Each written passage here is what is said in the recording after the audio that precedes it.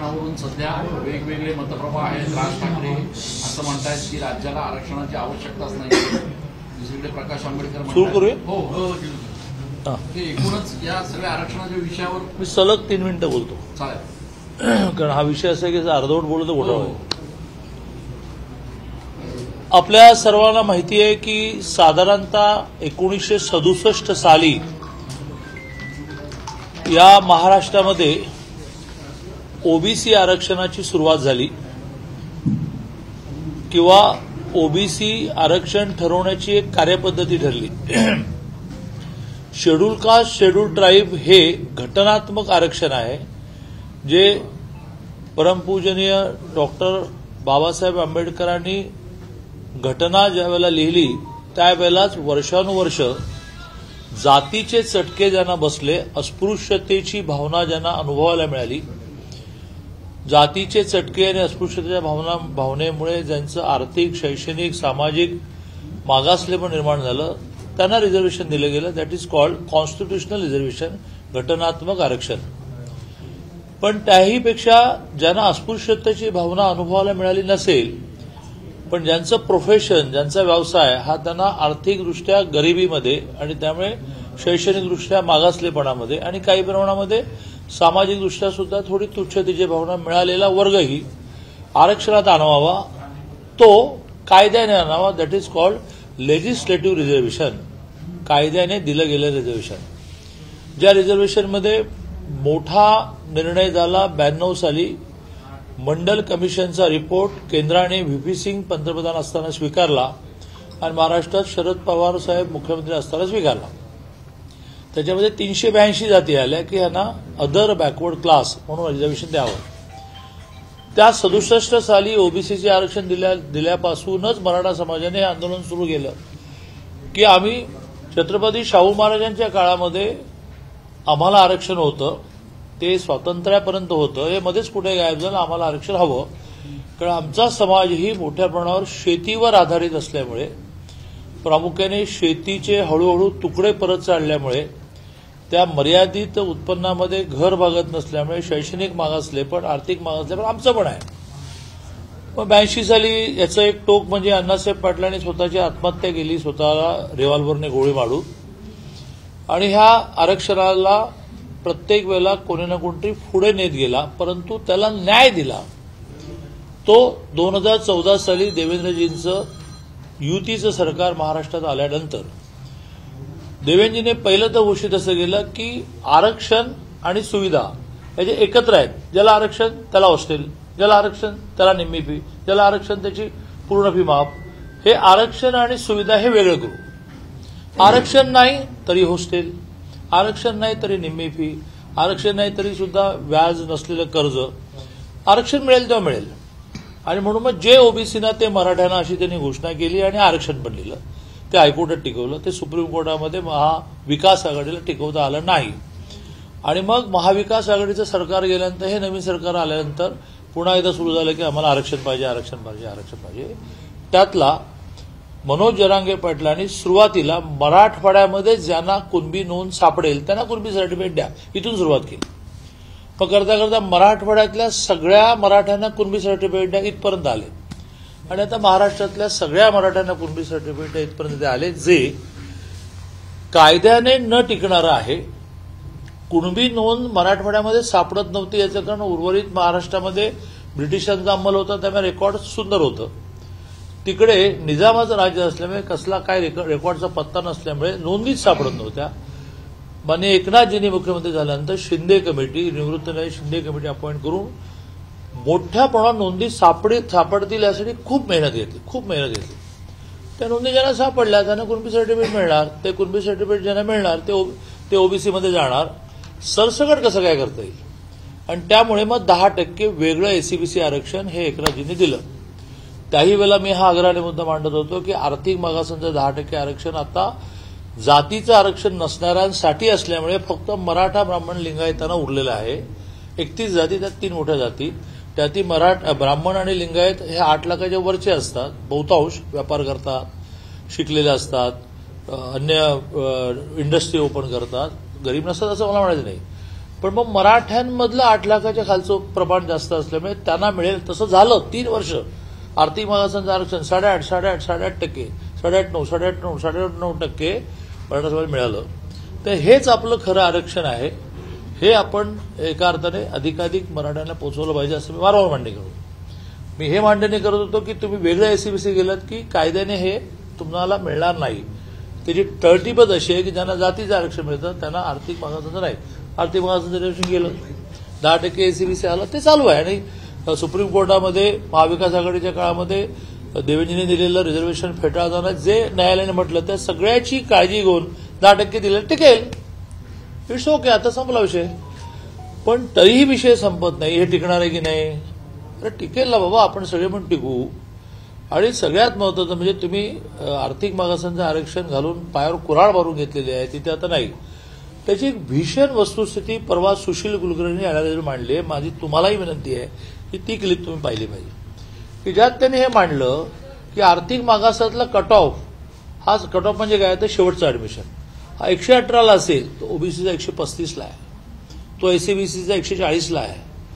आणि त्यामुळे आर्थिक मागासामध्ये एखाद्या वेळेस एकशे अठरा कट ऑफ असल्यामुळे जास्त मुलं आपली सामावून गेली असती तर ती ओबीसीमध्ये जाऊन बसल्यामुळे आता आणि मग एसीबीसीमध्ये जाऊन बसल्यामुळे आता तो कट ऑफ एकशे पस्तीस एकशे चाळीसवर गेला. एक आणि आर्थिक मागासामध्ये मग मराठेही बाहेर पडले ब्राह्मणही बाहेर पडले लिंगायती बाहेर पडले मला कुठल्या धर्माबद्दल काहीच म्हणायचं नाही. परंतु काय मराठा समाजाने करून घेतलं हे बघण्यासाठी या वेळेला एका बीड जिल्ह्याच्या पोलीस भरतीमध्ये तेवीस जर आर्थिक मागासांची रिझर्वेशन असतील त्यातली एकवीस अल्पसंख्याक समाजाला गेलेली आहेत. कारण आता तेच आठ आठ लाखापेक्षा खालचे उरले. तेच आठ लाखापेक्षा खालचे उरले. म्हणजे आठ लाखाच्या खाली आम्ही असतो तर आम्हाला इथे मिळालं असतं. आम्हाला एकशे अठरा कट ऑफला मिळालं असतं. तर आम्ही स्वतःला एसी बी सीमध्ये घालून घेतलं आम्ही स्वतःला ओबीसीत घालून बसलं. तिथला कट ऑफ एकशे पस्तीस एकशे चाळीस झाला. हा खाना ब्लँक झाला. हा चौकोन जो आहे तो रिकामा झाला. तिथे अल्पसंख्याक आल्या. आता एका जिल्ह्यामध्ये जर तेवीस पैकी एक रजपूत नावाचा कोणतरी आर्थिक मागास सोडला तर बावीस अल्पसंख्याक असतील तर चौतीस जिल्ह्यामध्ये ह्याला चौतीसने मल्टिप्लाय करा. किती जण? एका केडरमध्ये. एका पोलीस केडरमध्ये किती अल्पसंख्याक गेले आतमध्ये याचा मनोज पडल्याने विचार करावा. आणि म्हणून मला असं वाटतं की म्हणून मी तुमच्याकडे दोन तीन मिनिटं मागितली की मी व्यवस्थित शाहू महाराजांच्या काळापासून स्वातंत्र्यापर्यंत घटना घटनात्मक रिझर्वेशन कायद्याने दिलेलं रिझर्वेशन देवेंजीने दिलेलं रिझर्वेशन एकनाथजीने दिलेलं रिझर्वेशन मोदीने दिलेलं आर्थिक मागास रिझर्वेशन सगळं आपल्याकडून मांडलं. आता विचार. या सगळ्या पार्श्वभूमीवर विलासराव देशमुखांपासून जी काही मागणी होतीये हा? विलासराव देशमुखांपासून जी मागणी होत आली आहे की हो. आर्थिक निकषावरच फक्त आरक्षण मिळायला पाहिजे. या अनुषंगाने काही नव्याने विचार होण्याची शक्यता दिसते आता आपण अ, मी कोणाला दोष देत नाही. मनोज जरांगे पाटलांना बिलकुल दोष नाही. ते खूप मनापासून मराठा समाजाच्या विकासासाठी आंदोलन करत आहेत. आता आपण एका एका चक्रात सापडलो. आता बाहेर पडणं फार कठीण झालं. जोपर्यंत दहा टक्के मराठा समाजाला माननीय एकनाथजींनी आणि देवेंद्रजींनी आणि अजित पवारांनी रिझर्वेशन दिलेलं आपण सगळ्या समाजाने मागणी करून विड्रॉ करत नाही तोपर्यंत आर्थिक मागासांच्या आरक्षणमध्ये आपण जाऊ शकत नाही बाय लॉ कायदाच असा आहे की ज्याला जातीचं आरक्षण आहे त्याला दहा टक्के आर्थिक मागास मिळत नाही. मग त्या दहा टक्केमध्ये समाधान म्हणून ते टिकवलं पाहिजे. मग म्हणजे विषय संपला. आग्रह आपला जो चालला आहे मनोज जरांगे पाटलांचा की आम्हाला दहा टक्के एसीबीसी म्हणणार नाही. आम्हाला दहा टक्के आर्थिक मागासी मांडणार नाही आम्हाला तुम्ही ओबीसी करा. की ज्या ओबीसी करण्यामधली कोण बी नोंद सापडेल त्या सगळ्यांना ओबीसी केलं जाईल ना. म्हणजे त्यांनी जी सगळे सोयऱ्यांची व्याख्या केली ती काही नवीन नाही. आपल्याकडे पितृसत्ताक पद्धतीने यांना मिळालं की यांच्या तीनशे जणांना मिळतं. पण पितृसत्ताकपासून मिळतं. त्यांच्या मुलाला मिळतं त्यांच्या पुतण्याला मिळतं त्यांच्या पुतणीला मिळतं. असं करत करत एका माणसाला ओबीसी सर्टिफिकेट मिळालं कुणबी तीनशे जणांना मिळतं. तुम्ही म्हणताय काय की मातृसत्ताक द्या. ह्या देशाचा कायदा ते मान्यच करत नाही ना. सुप्रीम कोर्टाने अनेक वेळा फेटाळलं की या देशाची जी पद्धती आहे कुटुंब पद्धती ती पितृसत्ताक आहे. त्याला मिळणारे जे लाभ आहेत त्याला मिळणारे अधिकार आहे ते पितृगुण येणार आहेत. आणि त्यामुळे हा टाय कसा संपायचा हा मोठा प्रश्न आहे. आता आणखीन एक मी तुम्हाला सांगून माझं बोलणं संपवतो. मी कारण एका कार्यक्रमाला आलो आहे. आणि त्या कार्यक्रमामध्ये मला उशीर होईल. तुम्ही अचानक आलात नाही तर मी आणखीन लवकर आलो असतो. आता एक मोठा टाय निर्माण झाला. चार दिवसापूर्वी सुप्रीम कोर्टाने शेड्यूल कास्ट शेड्यूल ट्राईबला अबकडं करता येईल असा निर्णय दिला. तुम्ही पत्रकार आहात माझी हात जोडून विनंती आहे तुम्ही खूप अभ्यास करा. तुमची काही लायब्ररी डेव्हलप करा तुमचं एक रिसर्च सेंटर डेव्हलप करा. तर प्रत्येक गोष्टीचा अन्वयार्थ तुम्हाला लागेल. आता शेड्यूल कास्ट शेड्यूल ट्राईबला सुप्रीम कोर्टाने दिला अबगड अबगड करायला. अभगडाचा अर्थ काय? तर त्या एका तेरा टक्के एसमध्ये किंवा एका सात टक्के एसमध्ये सगळ्या एस मधल्या जाती आल्या तर त्यातल्या एक दोनच जाती त्याचा फायदा घेतात. बाकीचे खालीच राहतात. पंच्याहत्तर वर्षानंतर सुद्धा. मग जातीचे स्लॉट करायचे. या सहा जाती अ तुम्हाला तेरापैकी तीन. यात आठ जाती ब तुम्हाला तेरापैकी दोन. असं जातीच्या संख्येप्रमाणे मागासल्याप्रमाणे करायचं. हे तज्ज्ञांनी करायला लागेल. पण हे करायला आजपर्यंत परवानगी नव्हती. ती सुप्रीम कोर्टाने दिली. ओबीसीचा अवघड करण्याची परवानगी ही दोन वर्षापूर्वीच रोहिणी कमिशनचा रिपोर्ट जो आला आहे जो अजून पब्लिश नाही झाला त्यात केव्हाच ओबीसीचा अवघड करा म्हटलं पुन्हा तेच तीनशे ब्याऐंशीचे चार स्लॉट करायचे. ज्यांना सगळ्यात आतापर्यंत जास्त सवलती मिळाल्या ते ड मध्ये जाणार. त्यांना दोन टक्के त्यांना तीन टक्के तज्ज्ञ ठरवतील. आता काय होईल की कुणबी एखाद्या अबकडमधल्या स्लॉटमध्ये जाते विथ फिफ्टी सिक्स्टी कास्ट पन्नास साठ जाती बरोबर आणि त्या स्लॉटला किती मिळेल? चार टक्के किंवा तीन टक्के. म्हणजे तुमची ही जी कल्पना आहे की आम्ही कुणबी झालो ओबीसी झालो की आम्ही एकोणीस टक्केमध्ये जाऊ? नाही. तुम्ही अबगडमध्ये तीन टक्के चार टक्के पाच टक्के अशा स्लॉटमध्ये पन्नास साठ जाती बरोबर जाल. त्यांच्याशी तुम्हाला स्पर्धा करून यायचंय. चार पाच टक्क्याच्या एका छोट्या भांड्यांमधलं पाणी सगळ्यांनी प्यायचंय. इकडे तुम्हाला क्लिअर कट दहा टक्के एसीबीसी आहे. त्याच्या आधी क्लिअर कट दहा टक्क्यातलं साडेआठ टक्के आर्थिक मागासाचं होतं. म्हणजे काय मिळवतोय आपण मला काहीच कळत नाही. आणि त्यामुळे माझी हात जोडून सगळ्या समाज धोरणांना विनंती आहे की हा टाय हा टेबलवर बसून सोडवण्याचा आहे. एकमेकाला गोळ्या मारणवून संपवण्याचा नाही. गोळ्या म्हणजे शाब्दिक गोळ्या. याने एकाला असं म्हणायचं एने एकाला तसं म्हणायचं. आणि त्यामुळे सगळ्या राजकीय पक्षांनी बोटचेपेपणा न करता हा बोटचेपेपणा आहे. पवारसाहेब डिक्लेअर करत नाही आहेत की मराठा समाजाला ओबीसीचं आरक्षण द्यावं की नाही द्यावं? उद्धवजी डिक्लेअर करत नाहीत की मराठा समाजाला ओबीसी द्या करा डिक्लेअर एकदा. हो नाही प्रत्येकाला काय म्हणत नाही दहा टक्के वाढवारे दहा टक्के वाढवारे चालले. स्पेसिफिक नेमकं टोकदार बोला. तर प्रकाश आंबेडकरांनी सर्वपक्षीय बैठकीमध्ये खूप चांगली भूमिका घेतली की सगळ्यांकडून लिखित घ्या आठवत असेल तर. प्रकाश आंबेडकरांनी सर्वपक्षीय सगळ्यांकडून लिखित घ्या. कोणाची हिंमत नाही लिखित नाही. त्यामुळे जाती जातींमध्ये भेद जे आहेत अंतर जे आहेत ती संत महंतांनी सामाजिक सुधारकांनी संपवली होती. आपल्या आपल्या जातीचं भलं आपण करू पण दुसऱ्या जातीबद्दल आदर करू. हे सगळे जातीतले भेद संपलेले आणि सगळ्यांनी पुन्हा एकदा राजकीय स्वार्थासाठी वर काढले. ते मराठवाड्यात चला. तुमचे सहकारी तिथे काम करतात. त्या बीड जिल्ह्यामध्ये एखादा मराठा प्रवचन जर आला गावात तो ओबीसी समाज ते प्रवचन ऐकायला जात नाही.